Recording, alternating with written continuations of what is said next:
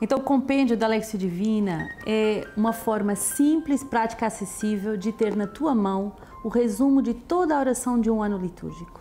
Com esse livro, você não vai perder a tua oração, você vai registrar dia após dia o conteúdo da tua oração. E a oração vai se transformar vida, vai se transformar em decisões, em práticas concretas. Essa palavra é tão poderosa que um só versículo pode mudar toda a sua vida. E o que é a Lexio Divina? A Lexio Divina, como o nome diz, é uma leitura orante da Palavra de Deus. Cinco passos, muito simples, e a leitura é algo objetivo. O que é que esses textos falam hoje, concretamente? Lê com calma, lê tranquilamente, lê várias vezes essas três leituras. Depois da leitura você tem a meditação. Então a meditação é um movimento de entrar dentro de nós, onde Deus habita no mais profundo de nós e escutar o que é que Deus quer me falar a mim, naquilo que eu vivo hoje com essa palavra. A graça da oração. Se Deus me fala, eu respondo. Uma pessoa que ama, responde à pessoa amada. E o quarto passo, a contemplação, que transpassa o teu coração e, e torna o teu dia todo diferente. E essa palavra deve ficar ruminando no nosso coração ao longo de todo o dia. E último passo, a resolução. Qual a decisão que eu tomo face a essa palavra? Na escuta do verbo.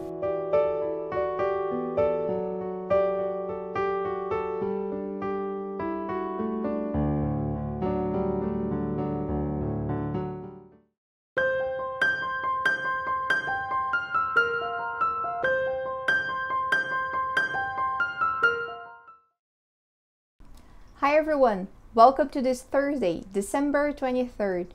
I'm Sister Mary Elizabeth from Seeds of the Word Community, and I would like to welcome all of you that are joining us today. For the readings of this of this Thursday, we will read Prophet Malachi, chapter 3, verses 1 to 4. Then we go to chapter 4, verses 5 to 6. Responsorial Psalm, Psalm 25 to 5. And the Gospel is from St. Luke, chapter 1, verses 57 to 66. Let's start the reading of the Word of God. Thus says the Lord to Israel See, I'm sending my messenger to prepare the way before me. And the Lord, whom you see, will suddenly come to his temple. The messenger of the covenant, in whom you delight. Indeed, he is coming, says the Lord of hosts. But who can endure the day of his coming? And who can stand when he appears? For he is like a refiner's fire and like a fuller's soap. He will sit as a refiner and purifier of silver, and he will purify the descendants of Levi and refine them like gold and silver until they present offerings to the Lord in righteousness. Then the offspring of Judah and Jerusalem will be pleasing to the Lord.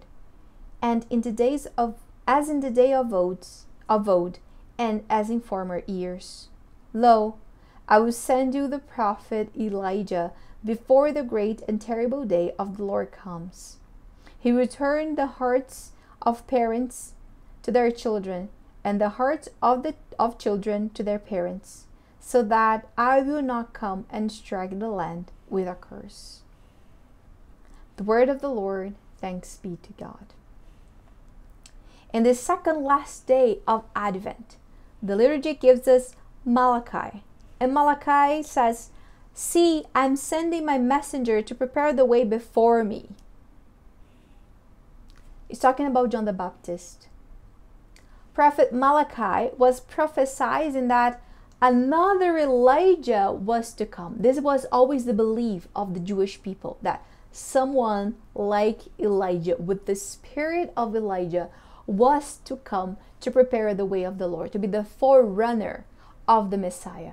And it indeed happened. It was John the Baptist. See, I'm sending my messenger to prepare the way before me.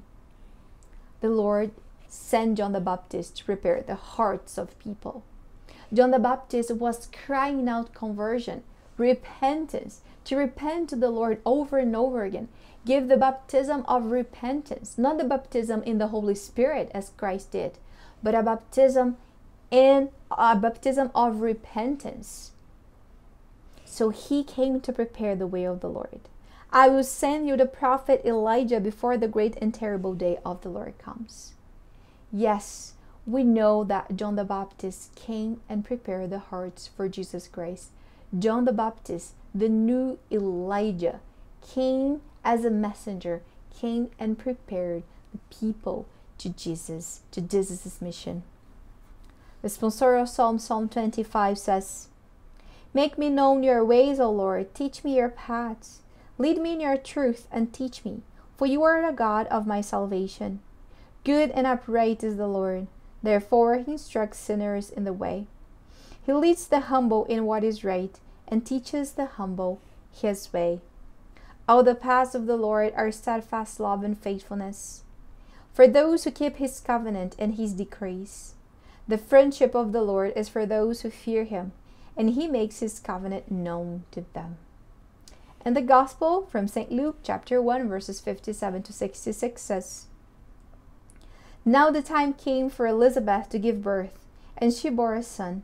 Her neighbors and relatives heard that the Lord had shown his great mercy to her, and they rejoiced with her.